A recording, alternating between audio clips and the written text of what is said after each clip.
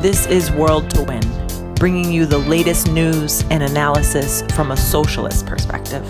Welcome back, everyone, to World to Win. My name is Toya, a member of the International Socialist Alternative in the United States. If you're new to our channel, make sure you subscribe and like this video. And if you are one of our regular viewers, welcome back.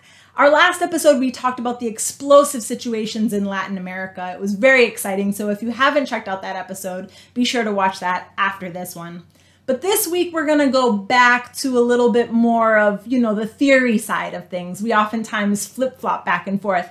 And I believe the last theoretical episode we did was on Leon Trotsky um, and his work called Permanent Revolution. But this week, we're going to go to someone who many people um, have heard of, and that's Lenin. He wrote a book called State and Revolution. It's one of the first books I read um, when I first got into, you know, socialist ideas. It's not that long. Totally check it out if you haven't. And if you just want the Cliff Note version, you're going to get that here today. It's an important book, even though it was written over a hundred years ago, because it talks about um, what you know the state is um, and why the state does what it does um, and how to fight for a better society. It's an, it answers a lot of important questions that we see even today in regards to the Black Lives Matter movement or even what's going on in Myanmar or Colombia, like we talked about last week. Um, so I'm very excited to kind of dive into this text um, with two returning guests. This week we have Per-Åke, um, who is a member of the International Socialist Alternative in Sweden um, and Laura, who's a member in Ireland. So before we get into the text, I want to hear um, what you two have been up to. I haven't seen you in a in a while. Laura, let's start with you. How's it How's it been going in Ireland? Oh, thanks, Toya. Um, well, maybe I'll share with you um, just a recent scandal that's come out in Ireland. Um, which is that even though we know that gender violence has been on the rise massively all around the world in the context of the pandemic, um, it's just been revealed that the, the police in Ireland, the Gardaí, have been cancelling calls um, of uh, uh, uh, women, children, men ringing up to uh, 999 emergency number because of um, uh, gender violence they're experiencing. And thousands upon thousands of calls were cancelled by the by the police, by the Gardaí. And this scandal is only beginning to emerge. We haven't got the full story, but we can presume it was in the most deprived working class communities, maybe traveller backgrounds, those of migrant, the migrant population that were likely most likely to be ignored and dismissed in such a brutal way. And just to kind of, because we're talking about the state today, Toya, and I finish now, uh, it's it's in stark contrast to the fact that um, Rosa socialist feminist movement um, that ISA supports, uh, some of our activists in Ireland have just been fined, one of whom is facing um, criminal prosecution um, uh, for organising a symbolic standout calling for action on the shadow pandemic of gender violence during the lockdown. It was a, a, socially distant protest with mass of less than 10 people, and she's facing criminal prosecution in a state that it's just emerged. This is what the police were doing. So, thought that might be an interesting little thing to share with you, because of our topic today. Well, thanks for sharing in solidarity to her, and um, good luck with that. You know, trying to defend her, and I, uh, I'll be looking out for for what's going on. It sounds it sounds terrible, um, Laura, but thank you for sharing. Um, Per-Åke, how about you? What's what's Sweden been up to these days? Well, super calm Sweden. Uh, things are happening. The uh, the government was uh, well fell last week, and the prime minister resigned yesterday. And the reason the government uh, lost power was because of the issue of market rents.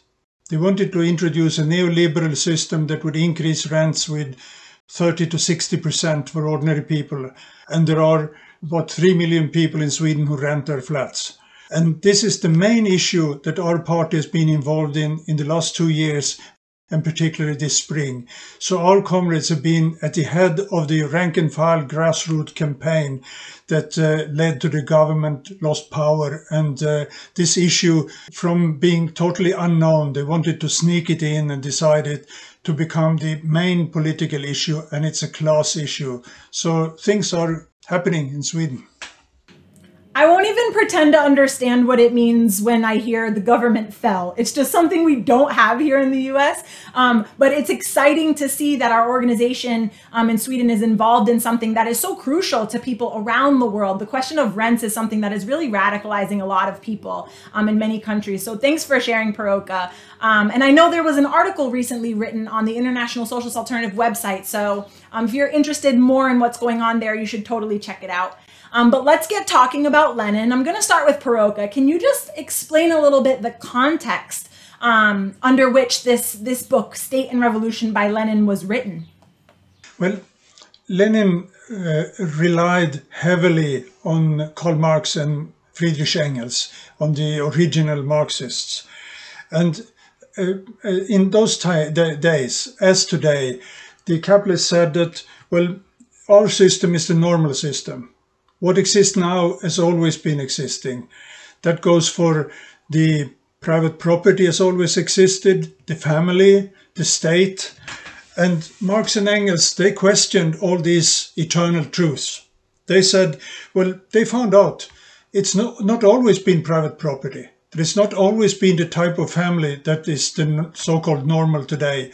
Not always been a state apparatus. And in fact, all those three had the common origin.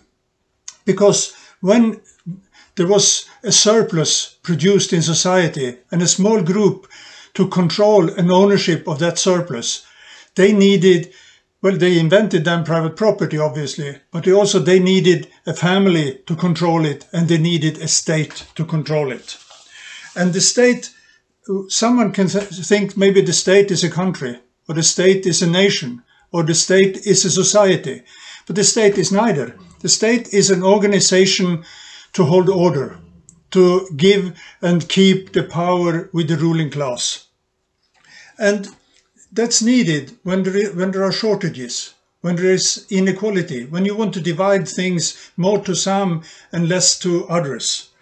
And they also act in the common interest of the ruling class. Marx in Capital writes that uh, they had to stop child labor because the working class was about to die. The working class would not survive if every children, every child was working in the factories of textile industry and coal mining or so in England at that time. So the state also sometimes intervened against a wing of the bourgeois class. But the, the state is uh, preferably, they wanted to be seen as impartial something above, something intervening to sort out conflicts, to order the queues, to deal out rations. And uh, also when they need to punish someone, when they need they need a force to to put someone in prison or to uh, decide uh, that well you're breaking the law. And, and that's why the most important part of the state, Marx and Engels concluded, that's the police and the military. And Engels invented this uh, saying that the state is armed bodies of men. That's what the state is to its nucleus, or the most important part. They also built, Marx and Engels also built on the experience of the Paris Commune. And, and that's uh, 1871, and, and it's 150 years ago, and we've had episodes in World to Win about uh, the Paris Commune. The the workers held power for two months. Karl Marx had criticism or advice to the workers who held that power. He said, well, you were isolated to Paris. It should have spread. You should have confiscated the central bank. But most important, you can't take the previous ruling apparatus into your own hands. You have to create your own new controlling apparatus. The working class needs its own state. It can't start from with no state because there will still be shortages, there will still be problems to deal with in society. So they need uh, their own organ to organize the state. This was the basis from Marx and Engels on which Lenin built his conclusions and wrote State and Revolution. Thanks, Per-Åke. I remember when I was reading this book, really, you know, having a completely different understanding um, of what the word state actually means and how Lenin um, and even Marx and Engels, as you mentioned, um, are using this word. And it really it really opens up your mind to you know understand how society works. So thank you for that. Um, Laura, can you talk a little bit more about what some of Lenin's main points were in this book? Yes, I can, Toy. Thank you.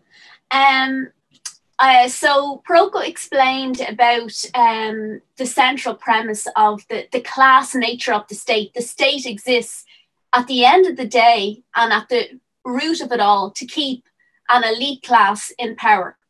Um, and with that, uh, one of the things um, that Lenin explained in State and Revolution was the very limited nature of even a parliamentary democracy under um, uh, the rule of capitalism, if you like. And that pertains and is still relevant today to all countries around the world, including those in which working class people have the important right to be able to vote. So a few choice quotes sum it up and then I can link it and explain it to, to what, what it is today. And he said to decide every few years which members of the ruling class is, is, to repress and crush the people through parliament. This is the real essence of what he calls bourgeois parliamentarianism, the, um, including in democratic republics. And he goes on to say that it's a democracy hemmed in by the narrow limits set by capitalist exploitation, and consequently always remains in effect a democracy for the minority, for the rich um, and just how prescient was that written 100 years ago? How it actually sums up and explains uh, the reality of, of capitalism all around the world today. Um, and that's the case in so many ways. So for example uh, the fact that you know uh, the, the, the likelihood even that in um, uh, bourgeois democracy, what I mean is like capitalism, but you have the right to democratically vote. The fact that the people from the in the positions of power politically, in the media establishment, so on, they generally come from the bourgeois background. And, um, uh, you know, in Ireland, one of the big things at this point in time is the fact that huge amount of, of the members of parliament are landlords. And one of the biggest issues facing, if not the biggest issue facing working class people in Ireland, is uh, the housing crisis. Um, uh, it means that, you know, wh- where is the real source of power in capitalist society? It's the people that we don't even vote for. It's the, the CEOs, the head of the, you know, major, major corporations. Um, look at workers today in the airline industry, in the retail industry. Look at healthcare workers. Um, you know, when did they have the right to vote on things that affect really their lives? Um, uh, actually, the, the powerful, the, the the capitalist economic interests, and so on, um, and the tiny elite in reality that profit enormously from that are the ones that make the decisions and are leaving workers in horrendous situations. Look at healthcare workers who are going to emerge en masse all around the world with, you know, collective trauma, mental health crises, burnout from the what they've been forced to, to, to deal with in the pandemic. They never decided or had a real vote on whether why, you know, despite um all the wealth that exists in the world, public healthcare has never been properly funded. You know, um, these are, uh, you know, the, the, the he, he, he refers to the, the deep limits of uh, democracy, even in countries where you have the right to vote. We know all around the world there's so so many countries in which people don't have uh, even that right. And um, uh, you know, uh, the big one of the biggest superpowers in the world, China, where you know extreme repression and a dictatorship um, uh, is the reality that working class people face, banning of trade unions, all of these questions. Um, and then he goes on to make the point. He he he he explains, and at the heart of, of state and revolution is an incredibly emancipatory vision of socialist change um, uh, he, he counterposes this lack of democracy to uh, that which is ultimately democratic, which is um, the, the working class, the poor and oppressed and exploited all of the world coming together, fighting, getting active, the mass participation of the masses in politics in a way that capitalist, ordinary, uh, everyday capitalist misery and inequality completely goes against. Um, and uh, that sort of that if you like revolutionary struggle because that's what a revolution is. It's the mass participation of the working class and oppressed in in politics in society on a day-to-day basis that is the opposite of what we know every single day. Um, and he counterposes that that revolutionary movement and struggle um, uh, to the repression of the state. And he explains very clearly that the working class movement needs a very clear analysis of the state so that it can actually challenge fight it and defeat it and build its own um, uh, uh, working class democracy and alternative state that, if you like, is repressive for a period, but it's, you know, a working class movement has to disempower the, the, the, the, the super rich elite, and then it needs to ensure that, that it, it keeps itself in power for the, for the future of the people and environment and, and, and all that we need is necessary, um, uh, uh, you know, for the sake of, of uh, the vast, vast majority of human beings on the planet. Um, yeah. Thanks so much, Laura. You know, when you're talking about uh, democracy in our world today, um, you know who and who has the real power in society. It's the ceos it's the the people who control commerce. It's and and even you know the people who work under them have no control um, over you know what actually happens in society. We go every you know year or every couple of months to vote for a couple of uh, people that are going to be in the legislature. Um, but the actual decisions that are being made you know we as workers have no control over that um, but Per-Åke, I want to, you know, we talked a little bit about what the state is, um, but Laura was starting getting getting into the second half of the book, which is revolution. Um, so I want to talk a little bit more about uh, what that looks like and what happens after. Lenin uses this term a lot called dictatorship of the proletariat.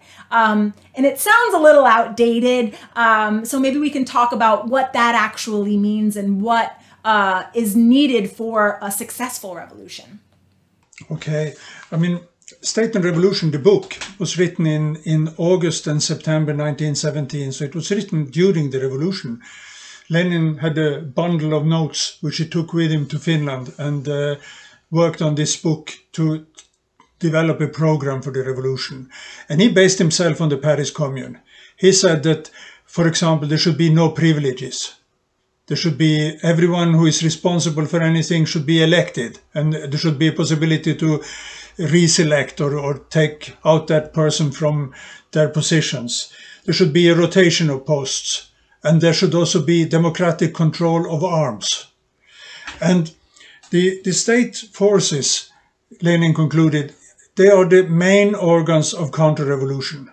If you look at Myanmar now, or, or Colombia, it's the army that is used against those who are protesting. They are shooting people, they are uh, uh, violently attacking, and they are arresting masses under protests. And that was also, of course, the, the case in, in Egypt previously and in Sudan a couple, two years ago during the revolutionary events in Sudan. The old state has to be purged. And that goes to begin with, with the generals, with the officers, with the police commissioners, the bosses of all repressive forces. And the soldiers or, or the rank and file in the repressive apparatus can maybe be won over, or they can be neutralized by masses who have control of their own arms or democratic control of that. Social democracy or social democrats, and, and I understand in the US now there is a bit trendy to be a supporter of Karl Kautsky, Kautskists as well, they never understood the Marxist theory of the state. If you look at, at Sweden was an example of reforms. Social democracy, of course, never attacked the capitalist, but it also never changed the state. They left the generals, the managers of state uh, authorities, agencies, institutions, departments untouched. They were kept and they could then hit back against the welfare reforms when the kind of social counter-revolution started. Or of course, they, they didn't touch the monarchy either, who is also part of the state. And the dictatorship of, of capitalists or as we say now, or we've said for a while, the dictatorship of, of the market has to be replaced by democratic workers' rule. And that's what Lenin meant with the dictatorship of the proletariat. The proletariat in Russia, of course, was a minority of the population. In most countries, the working class, the proletariat is another word for the working class. They are the majority of the population, or when they are in a minority, they are supported by the poor masses or uh, and uh, and the oppressed. Uh, and this is a transitional regime. When the working class put up their own state, that is not a state to develop to a new oppressive apparatus. It's a state that is supposed to uh, be uh, less and less important, have a less and less weight within society, with more and more people involved and, getting the fruits of what is produced in society. It will gradually disappear. Today, the state can include some public sector welfare. And people will say, well, well, we're against privatization. Doesn't that mean that we're in favor of the state? And, and of course, some parts of public sector welfare are concessions to the working class. They're not needed for production. The capitalist can produce without having a system of pensions, which they of course have in countries where they have been able to do that. They can, they can be without elderly care. They, they can also be without unemployment benefits. They don't need that. But this, this now, of course, also is paid by the taxes uh, this working class paying taxes and then pay for that. But still, there are other parts of the public sector welfare today. For example, uh, so some social security, uh, childcare that is needed for production. They need uh, the whole working class, and for that they have to, in some countries, to uh, uh organize childcare. Those organs also have some repressive uh, parts the miners in the miners' strike in Britain in 1984-85 said they were as afraid of social authorities as of the police because that could uh, the social authorities could, could, take decisions about their children, about where about their housing benefits and such things. So and some in, in any capitalist state they want those people to have some privileges. If you're a, if you're a boss in the state, you should behave and you should be paid almost as if you're a boss in a company. And, and minor bosses as well should have, should have a little bit privileges. So us defending against privatization doesn't mean that we, we defend parts of the state that will uh, continue to exist after the working class has taken power. It means that they will be democratized. They will be controlled and ruled by the people working there and the people using those uh, utilities. And they will be run democratically. More important is, of course, the police, the military, the courts, the, the prisons, and everything like that, which has to be uh, well uh, completely purged. And then, uh, well, under socialists, there will be some criminals, but uh, but and uh, but there will be a democratic control and uh, a completely different system of uh, organizing that. The, the capitalists and the bourgeoisie today prepare for battles. That's why they give more resources to the military, the police, and, and uh, they expand those sectors of the state. And so that's again proving what uh, Lenin said about the state. Those are the kind of issues confronting us when we want to prepare for working class taking power and dealing with the state. Thanks so much, Per-Åke. You know, you talked a lot about what the state, you know, can provide, needs to provide, doesn't need to provide. I know uh, when you mentioned childcare, I know that's something that resonated with with Laura as a as a working mother. Um, it, it's so hard to be able to provide those types of things, um, you know, to work and care for your children at the same time. It's something that Laura actually has come on our show to talk about before the, you know, situation with um, uh, working class women around the world. Um, but Laura, I was wondering if we could take another phrase that Lenin uses in this book and kind of dissect it a little bit. He says the withering away of the state. What does that mean? Good question. Um, so as Per-Åke has explained really well, um, the state is about fundamentally it's about um, repression and about uh, uh, keeping the class in power in power it's about backing them up you know and it has all sorts of elements to it, as Per-Åke explained there. But you know, there is the very clear uh, repressive element and times of class struggle that's when it's mo- most obvious why you know in ireland during the covid crisis the debenhams workers retail workers who launched a, a huge battle against corporate greed were um, arrested and physically dragged from the picket lines including a pregnant woman worker um, uh, you know while uh, the covid crisis was raging.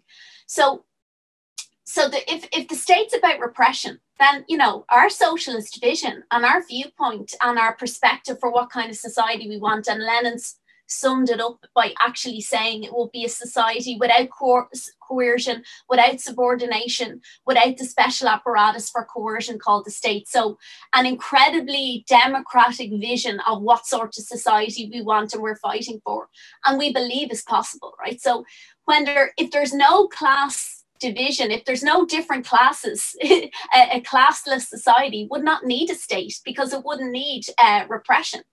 Um, but Laura, if there's no state, isn't that what anarchism is? Isn't you know the idea that there's just no state at all? Yeah, well, it's a good question. Like the thing is, we, you know, um, Marxists have something in common with with like left wing socialist anarchists in that like our vision for what sort of society we want to achieve is the same. Um, but I think that the difference is uh, around um, uh, how, Len, how Lenin explained how the withering away of the state would be achieved after a, quite a significant working class battle has been waged. That would include if you have to if you have to um, build a, a working class movement, revolt, and revolutionary struggle from below that goes head to head with the capitalist state that wants to to smash all its its its its its repressive and coercive apparatus and take power into the hands of the working class, um, including by uh, taking the key sources of uh, uh, uh, wealth, the, the, the key levers of the capitalist economy, taking that into public hands, taking that into the hands of the working class movement that is going to you're going you're going to need to have a, a state to to defend that gain um, but the question is that it's it, you know as as Per-Åke explained your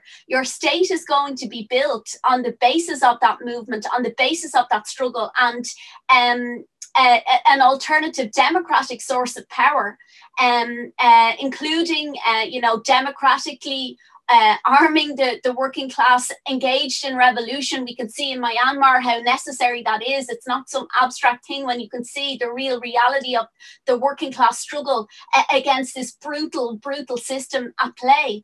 Um, and uh, the, the, the, the, the, the, repression that's necessary would be a repression to prevent the ruling class from taking back power from the capitalists who are not just going to give up without a fight. So actually that's the sort of state that's necessary. But if you, you know, this is a fundamental international battle for, for, for um, the rights and um, ascendancy of the working class poor and oppressed all around the world. And you know the, the, the, revolutions in one country will will um, as it did 100 years ago even in lenin's time will will uh, be give huge impetus to the revolutionary struggles in in other countries and so on. And you in that context you will have the movement fundamentally for socialist change and fundamentally to disempower the, the ruling class in capitalism and to begin to build a socialist alternative. And the withering away of the state is you're talking about a time where the the you know there's no want there's no poverty there's no need for it. We know the wealth's there. We know that working class people are capable and ordinary people the masses are capable of having a society that's that's democratic that the needs of people are catered for and so on um, uh, that's the context in which over a long period of time um, you, you'd, you'd actually have a classless society without the need for any repression. So the no need for a state. So this is something that that you know marx and and lenin and so on it, it's it, that their idea was always that for something that would develop over time. And if you like it's for future generations. Our, our, role now is to ensure that we have the right program. Um, and anarchists don't because they um, they see correctly that the state is repressive, but they don't have a clear view of why it's repressive. It's it's not the the the, the, the state flows from the concrete need of the ruling class to keep power and that's where where it's you know it's it, it, the battle against the state is inevitably a battle against the capitalist class in all of its including the political establishment include you know um, uh, we will use by the way every single uh, um, uh, every single opportunity available to us within the, the the current system and state to raise our program. And you know if we can get um, uh, in Ireland we have a member of parliament. We put forward a you know socialist working class program and fight in that uh, without any illusions of the program and so on, but but always with a clear-sighted vision of what the state is, that the working class movement and the need to fight it, and also that that that revolutionary change is going to require the working class to form its own democratic um, uh, uh, structures and organization um, in order to, to, to, to forward the interests of, of socialist change all around the world. So it sounds like what you're saying is, you know, the fight for socialism uh, has a plan. Basically, there's a there's a there's a path that we can take. Whereas when we're talking about anarchism, you know, the idea, uh, you know, the conceptualization, if that's a word, of the state is the same, um, but under anarchism, there isn't really a plan uh, to move us forward to a better society. No, I mean, even in, I mean, like if you take examples like in Rojava, uh, you know, Kurdish activists um, who, uh, so, you know, signed up, they were in a very specific situation there in Rojava, and the, the, you know, Syrian forces had vacated it for various reasons, and they were purporting to, to be anarchists, but they actually built a state like they had a state. So even those that um have this theory that you don't need a state and so on it's it just goes against the practical reality. We want to live in the practical reality practical real world about how we best uh, uh, you know fight this brutal system. And by the way recognize how how how powerful capitalism is how powerful its state is and and, and be no way naive about what kind of struggle we need to wage to defeat it, you know? Um, so before we go too far off, I love this. We're gonna have to have you back on to talk about the difference, you know, going into depth of anarchism and socialism. So make sure you're keep your schedule open because we're gonna have to have you on for another episode. I want to go back to Per-Åke.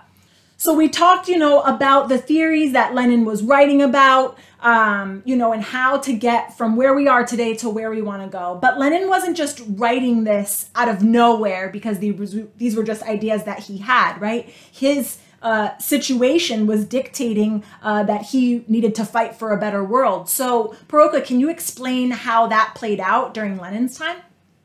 Well, I, I make an attempt.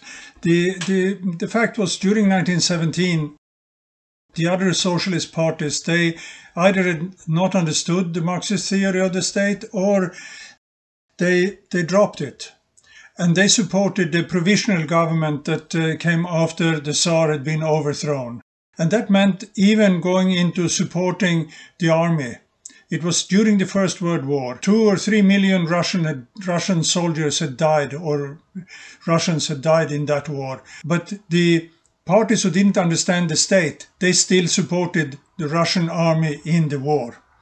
Then, uh, I mean, they thought that the political revolution was enough. It was enough to overthrow a regime.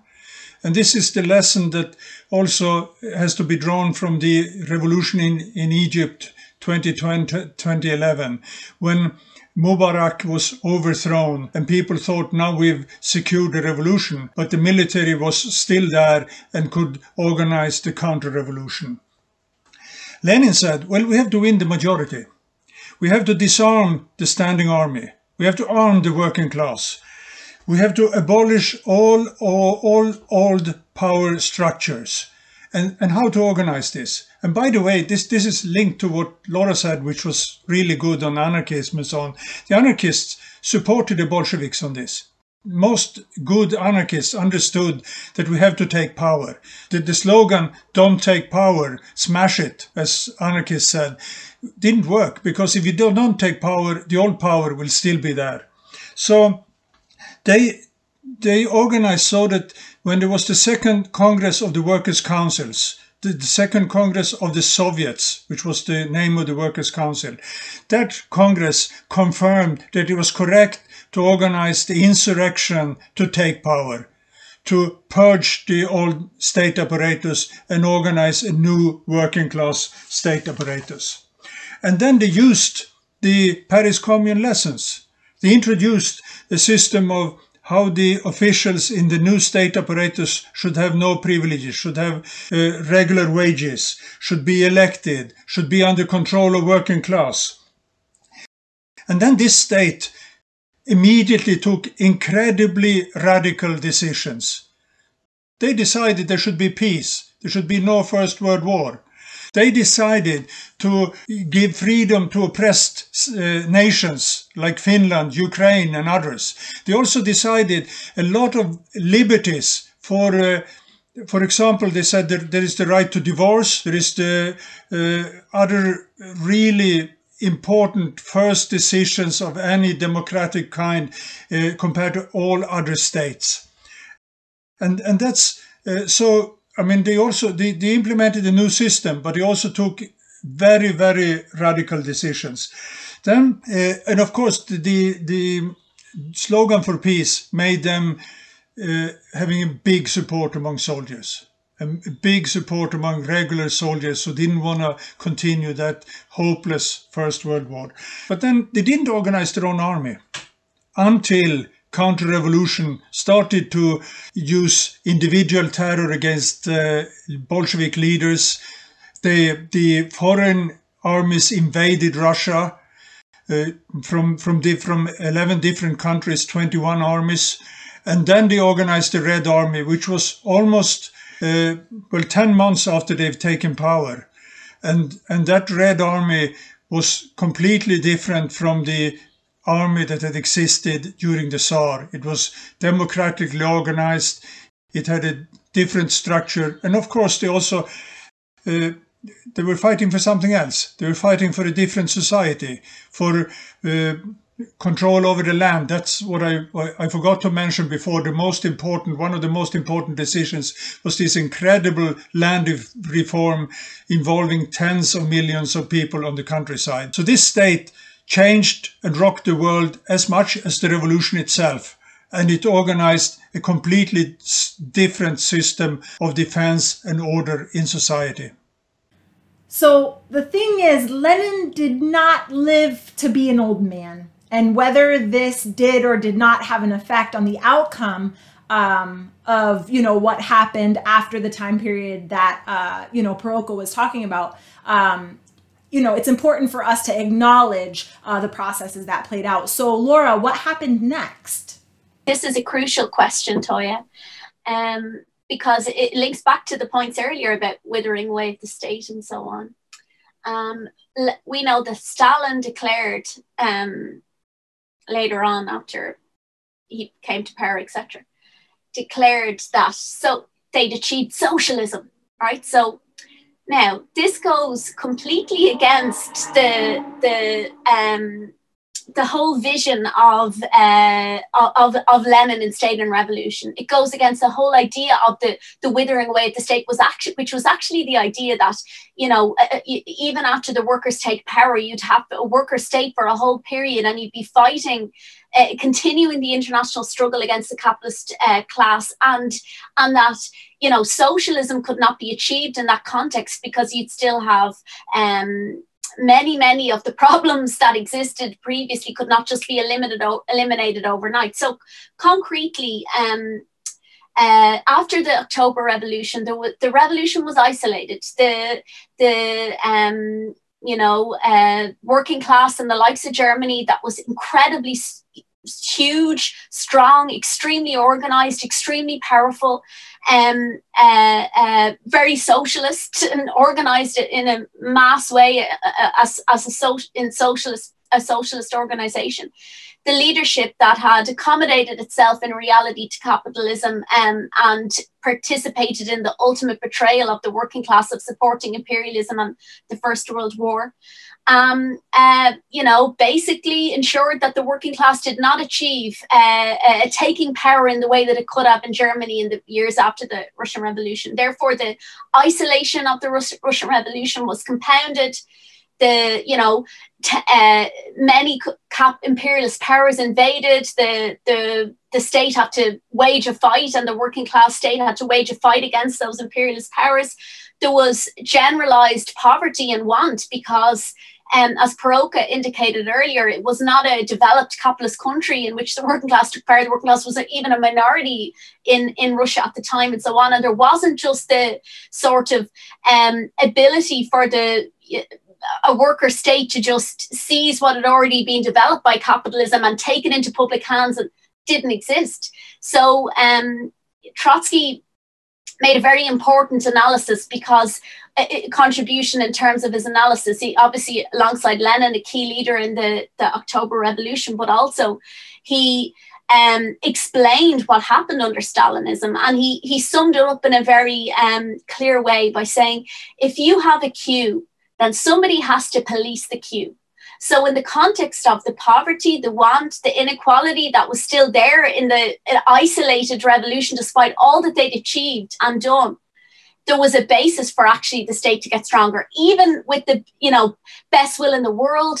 Um, concretely, the only check on working class democracy was the, the the the working class fighters that participated in the the revolutionary struggle being part and parcel of decision making every single day, etc. But that became difficult over time in the context of the isolation of the revolution and um, uh, that you know very very difficult and in that context then a bureaucracy began to um, form at the top um, uh, having the ability to, to form at the top.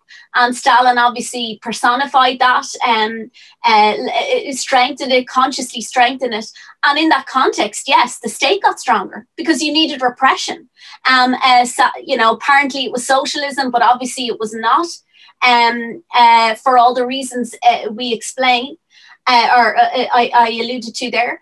Um, and you know he he began to go against concretely all of the, the emancipatory vision of socialism that's at the heart of state, state and revolution. Um, that's the the reality and there's very very important lessons for today. Obviously socialists later on would have advocated trotsky stuff there needed to be a political revolution. You needed to to to the working class to rise up and get rid of this caste this bureaucratic caste at the top.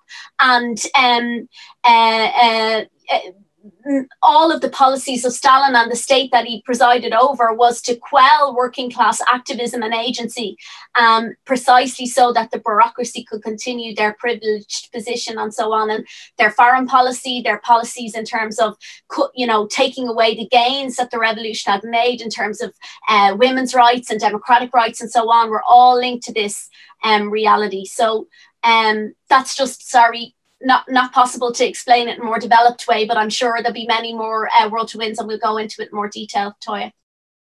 So, as we've mentioned a few times here throughout the show, um, you know, the, the capitalist state is huge and powerful um, and has become ever more repressive um, against working people um, due to the COVID pandemic. Um, and so, Laura, can you talk a little bit about how um, the lessons that uh, Lenin is trying to draw out here for us in this book, State and Revolution, can apply to the fight today? Yeah. Um, I think one one point that I'd um, highlight, Toya, is when the COVID crisis hit, obviously, um, the interest of, of the working class movement um, the intervention of socialists in whatever way we could was we need to fight this virus and put public health first, fight it in every way we possibly can. Um, uh, one of the things, though, in this context was um, yes, capitalist states did use this opportunity to uh, bring in repressive legislation um, that uh, you know they couldn't get passed at any other time or raise in any other time, and uh, have that there as something that then could be used in future uh, against the working class movement. And uh, you know, even in my own country, unfortunately, um, many of our colleagues in the broader left and our friends in the broader left would have been um, not so clear on on these questions when they came up because they felt a pressure for um, uh, to go along with things in the context of a sort of we're all in this together mood at the very start of the COVID crisis and shirking a class analysis. And, and what this book says is we cannot do that. You will um, rue the day you do that uh, because we have to, at the understand and not forget our, our class analysis of uh, you know whose interest this state protects and it's very very important to to always put the you know in everything that you do every issue that comes up you have to look at it from the point of view of uh, uh, the working class movement the interests of the working class struggle because that's actually the only way we're ever going to end oppression and inequality. So that is um, to me that's the sort of one of the key things that we have to think of and um, bring as very very relevant to today toy Thank you so much, Laura. Um, I want to go to Per-Åke. I was wondering if you could give us an example, um, you know, in today's context where you see the the relevance of state and revolution. Well, if you look at Sweden today, there is a discussion: uh, what is best for Sweden? We have we, we don't have a government. What's going to happen? And they pretend that we are all in the same boat, and we are not. We don't have the same interest, and. Uh, some people, and this is not semantic, some people say, well, we deport refugees. We give permits to mining companies destroying the environment. They say that uh, we, we have a catastrophic record on uh, dealing with men's violence against women. And we explain, well, this is the state. This is a capitalist state. It's a capitalist state deporting refugees, young refugees to Afghanistan. It's a capitalist state helping mining companies to destroy the environment. It's the capitalist state upholding the capitalist values or bourgeois values on uh, men's oppression of women. So that's, uh, or the state's oppression of women that, that is added to that. So, I mean, the state is not our organ. The state is something that uh, we have to struggle against in most occasions like that. And we have to show that it has a class character. So that's part of what we're dealing with today eh, in Sweden and elsewhere, I guess. Laura, what about you? Do you have any examples where this book is super relevant today? Yes, Toya. I there's so many, but one that I wanted to just hone in on is um, how amazingly and in many ways inspiringly um, slogans such as uh, abolish the police, abolish prisons have actually been popularized amongst, um, you know, a, a certain po- part of the population in the US and especially, but then in some countries also around the world in the context of the Black Lives Matter movement. Um, and this is, you know, in many ways, uh, brilliant to see because it's um, uh, you know young people uh, uh, fighting back against oppression and seeing how oppressive the state is. And they're right to call out how oppressive the police are how oppressive the, the prisons are um, under capitalism. That is correct but it's interesting to me because it's about like those slogans those slogans and those ideas are they are they useful slogans for a movement and for building struggle? Or put it this way how do we actually achieve abolishing the capitalist police? How do we actually achieve abolishing capitalist prisons? And um the, you know, it, it, has to be completely connected to a wholesale view and vision of the class struggle and class movement. We have to build working class and oppressed people power against the capitalist state. And um, we you know we need a, a, a, wholesale program that takes in all the day-to-day issues that working class people are faced with be it the housing crisis be it um, uh, you know uh, oppressive police and, and racial violence from the state and, and bring them together in a movement that can actually uh, uh radicalize and uh, bring on board the biggest number of the working class the working class and oppressed people. And those slogans, it's like the conclusion. You've drawn the conclusion, but you, you don't have any perspective or program about how to how to build a real struggle that's going to achieve it. So that's it to me, that's um, very, very relevant from from Lenin and State and Revolution, and looking concretely about what he really did and really led uh, uh, alongside the you know the cream of of the working class and, uh, movement in Russia at the time of actually achieving. Uh, uh, uh, defeating the, the oppressive state and bringing in a, a, a, a st- revolutionary working class state from below. Thank you so much, Laura. It's so true. We have these slogans, we fight for these slogans, but how are we going to get um, to those things that we're calling for? And this book, State and Revolution, um, is a great. Uh, you know, first step guide in how to get there. Of course, being organized in an organization um, is another great way to be able to fight for a better world.